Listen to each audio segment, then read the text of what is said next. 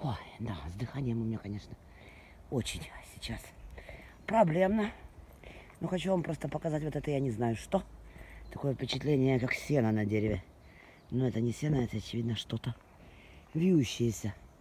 Что там росло. Не знаю, что бы это могло быть. О, ну, для львовян, о, кто знает город. То есть я, зайдя с улицы Зеленой, спустившись в парк Погулянка, через горы, все это преодолев, у меня на это ушел час, на самом деле. И вот в течение часа, ой, что это красивое такое. Вот в течение часа, пробираясь по городу, по горам, я сейчас выхожу фу, через Погулянку на улицу Пасечную. Ну, это далеко, то есть минимум 4 километра я уже маханула.